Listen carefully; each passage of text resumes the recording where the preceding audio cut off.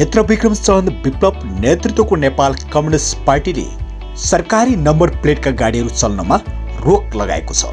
Nepal communist party मध्यपश्चिम command incharge ब्रिजङले बुधबार एक विज्ञप्ति जारी गर्दै मध्यपश्चिम क्षेत्रमा सरकारी सेतो नम्बर प्लेटका गाडीहरू साउन सात गतिदेखि चल्न नदिने घोषणा गरेका हुन्।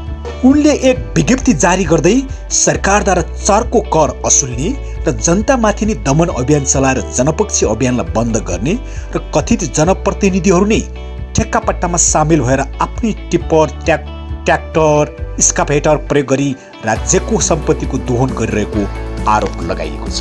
विज्ञप्तिमा तिनी जनप्रतिनिधिहरू नै जनहत्यारा अभियानमा सुरकीको रूपमा परिचालन भएको पाइएको भन्दै त्यस्ता गतिविधिहरू बन्द गर्न रिजङले सो विज्ञप्ति मार्फत चेतावनी दिएका छन्।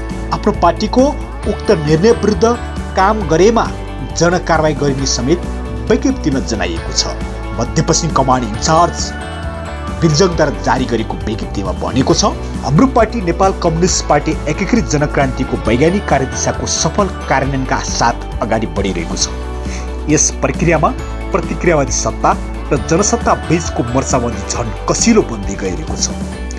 राजनीतिक लडाइँको मोर्चामा हारेको विरोधी सत्ताले हाम्रा नेता कार्यकर्तालाई गैर न्यायिक गिरफ्तारी दमन यातना तथा हत्यासम्मका घटनाहरू घटाएको छ।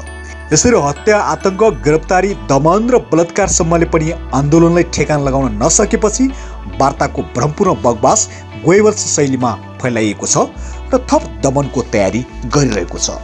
यता जनताको नाउँमा गाउँ गाउँमा सिंहदरबारको नारामा गठित कथित सरकारद्वारा चर्को कर असुल्ने र जनतामाथि नै दमन अभियान सञ्चालन गरेर जनपक्षी आवाजहरूलाई बन्द गर्ने उता कथित जनप्रतिनिधिहरू नै ठेक्कापट्टामा सामेल हुने आफ्नै टिप्पर ट्रक ट्र्याक्टर र स्काभेटर प्रयोग गर्दै राज्यको सम्पत्ति दोहन गरिरहेका छन्। साथै कतिपय कथित जनप्रतिनिधिहरू नै जनहत्यारा अभियानमा सुराकीको भूमिका खेलिरहेको हुनाले हाम्रो पार्टीले आगामी दिनमा ती सबै हरकतहरू बन्द गर्ने निर्णय गरेको छ।